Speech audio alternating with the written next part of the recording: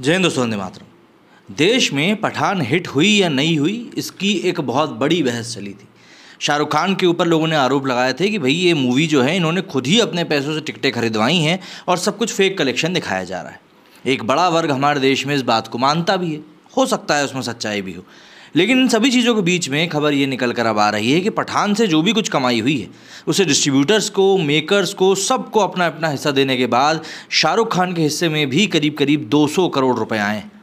इतना तो बजट भी नहीं होता कई मूवीज़ का, जितना कि इनके हिस्से में आ गया है। अब इस बात में मैं जानता हूँ, कई लोग विरोधाभास रखेंगे कि भाई ऐसा हुआ है या नहीं हुआ है, लेकिन इस प्रकार की खबरें बाहर आ रही हैं तो हम आपके साथ साझा कर रहे हैं। देखिए शाहरुख खान की फ़िल्म पठान ने कमाई के सारे रिकॉर्ड्स को ध्वस्त कर दिया है। हम फ़िलहाल के लिए इस चीज़ को थोड़ी देर के लिए मान लेते हैं। फ़िल्म ने वर्ल्ड वाइड एक हज़ार पचास करोड़ रुपए की कमाई करी है, जैसा कि बताया जा रहा है, और इतिहास रच दिया है। अब एक और ताज़ा रिपोर्ट की अगर माने तो शाहरुख ने इस फ़िल्म के लिए एक रुपये की फ़ीस नहीं ली थी। अमूमन देखा जाता है कि एक्टर्स फ़िल्म साइन करने के बाद अपनी फ़ीस तय कर लेते हैं। लेकिन शाहरुख ने ऐसा कुछ भी नहीं किया था। शाहरुख ने फ़ीस ना लेकर फ़िल्म की कमाई में साठ परसेंट हिस्सेदारी ली थी। इस हिसाब से उन्होंने पठान से तकरीबन 200 करोड़ रुपए की कमाई करी। बॉलीवुड हंगामा की रिपोर्ट के मुताबिक पठान ने सिर्फ़ भारत में ही 545 करोड़ रुपए का कलेक्शन किया है, जबकि ओवरसीज़ में फ़िल्म ने तीन सौ छियानवे करोड़ रुपए की कमाई करी।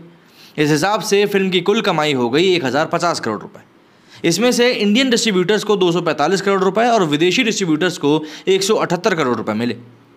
फ़िल्म के डिजिटल और मीडिया राइट्स की बात करें तो ये सब कुल जमा होकर 180 करोड़ रुपए बने थे। तो कुल मिला जुलाकर फ़िल्म को बनाने वाली प्रोडक्शन कंपनी यशराज फिल्म्स के हिस्से में 333 करोड़ रुपए का मुनाफा आया। शाहरुख ने फ़िल्म को साइन करने के बाद कोई अमाउंट नहीं लिया था। हम अक्सर देखते हैं कि एक्टर्स कोई भी फ़िल्म करने से पहले ही अपनी फ़ीस को लेकर साइड में हो जाते हैं। इसके बाद उनको मतलब नहीं होता कि मूवी चल रही है या नहीं कर रही है। अब फ़िल्म कितनी कमाई कर रही है, इससे भी उनको फ़र्क नहीं पड़ता। हालाँकि शाहरुख खान ने पठान के केस में ऐसा नहीं होने दिया, क्योंकि कई बार ऐसा होता है कि एक्टर सौ करोड़ रुपए की फ़ीस लेकर साइड में हट जाते हैं और बाद में मूवी दस करोड़ रुपए के लिए भी तरसती। शाहरुख खान ने फ़िल्म की कमाई में साठ परसेंट हिस्सेदारी लेने का फैसला किया। मतलब कि अगर फ़िल्म फ्लॉप होती है तो उनके खाते में एक ठेंगा आएगा। अब, यशराज ने इस फ़िल्म से तकरीबन, जैसे कि रिपोर्ट से बताया जा रहा है, तीन सौ तैंतीस करोड़ रुपए की प्रॉफिट कमाया है। इस हिसाब से शाहरुख के खाते में तकरीबन 200 करोड़ रुपए आ गए। यूँ कहें तो पठान ने हिंदी फ़िल्म इंडस्ट्री को एक ऑक्सीजन देने का भी काम किया। फ़िल्में आए दिन फ्लॉप हो रही थी। गिनती की कुछ फ़िल्मों को छोड़ दिया जाए तो सभी फ़िल्में पिछले दो सालों में बुरी तरह से फेल हुई। फ़िल्मों के लगातार फ्लॉप होने से प्रोड्यूसर सहित डिस्ट्रीब्यूटर्स को काफ़ी नुकसान उठाना पड़ा था। दृश्यम टू भूल भलैया टू, गंगूबाई कठियावाड़ी और द कश्मीर फ़ाइल जैसी कुछ एक मुट्ठी पर फ़िल्मों को छोड़ दें तो बॉक्स ऑफ़िस पर अच्छा कारोबार करने वाली मूवीज़ मौजूद थी ही नहीं। शाहरुख खान पिछले चार साल से वैसे भी बड़े पर्दे से गायब थे। तो इन चार सालों में उन्होंने कई फ़िल्मों में कैमियो ज़रूर किए, लेकिन उनकी कोई भी सोलो रिलीज़ फ़िल्म नज़र नहीं आ रही थी। ऐसे में सबको उम्मीद थी कि खुद शाहरुख खान के लिए ये मूवी काफ़ी ज़्यादा इंपॉर्टेंट थी। इसीलिए सबको उम्मीद थी कि भाई शाहरुख इस मूवी में कुछ ना कुछ बड़ा काम ज़रूर करके जाएँगे।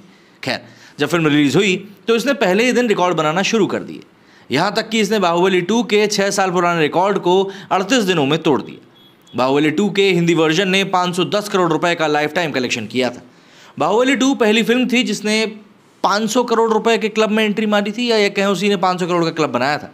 लेकिन अब पठान ने 545 करोड़ रुपए कमा कर ये रिकॉर्ड बनाया है और इसको तोड़ना अब फिर से कुछ आने वाले सालों में किसी मूवी के लिए मुश्किल होगा।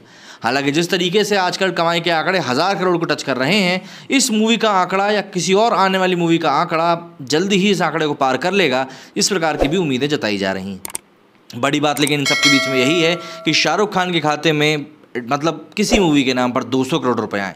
खैर, ये वाला बिज़नेस मॉडल कहीं ना कहीं ठीक भी लगता है। कुछ एक लोग रहते हैं जो मूवी बन मतलब मूवी में काम करने के नाम पर सौ, सवा सौ करोड़ रुपए ले लेते हैं, लेकिन मूवी हिट कराने की गारंटी नहीं दे पाते। तो ऐसे में मेकर्स का नुकसान होता ही है। बोनी कपूर ने भी कुछ समय पहले आकर कपिल शर्मा के शो में इस बात को बोला था कि प्रोड्यूसर सर नोचते रह जाता है और एक्टर फिर पैसे लेकर उड़ जाता है। और गारंटी रहती नहीं मूवी चलेगी, नहीं चलेगी। तो ऐसे में शाहरुख खान का जो ये मॉडल है, ये काफ़ी काम करने वाला है। कुछ ऐसे ही मॉडल के ऊपर सुनने में आ रहा है कि सलमान खान भी काम कर रहे हैं। इसीलिए उनकी मूवी किसी का भाई, किसी की जान का फ़िलहाल का जो बजट है, वो मात्र सौ करोड़ रुपये का बताया जा रहा है। हो सकता है वो भी आप प्रॉफिट में ही हिस्सा लेंगे। और ऐसा ही कई सारे बड़े सितारे और भी कर रहे हैं। आपका इस बारे में क्या कहना है? कमेंट करके ज़रूर बताइएगा। मेरे स्टूडियो फ़िलहाल नहीं जय हिंद, जय भारत।